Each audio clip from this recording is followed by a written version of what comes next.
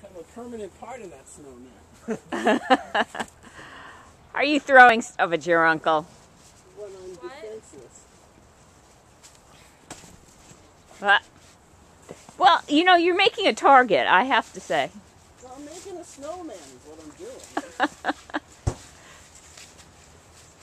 I'm involved in the creative process. I can't be disturbed.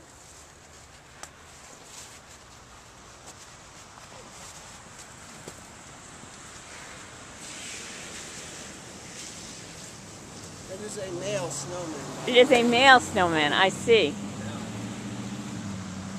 But uh, Are you going to need two carrots for him?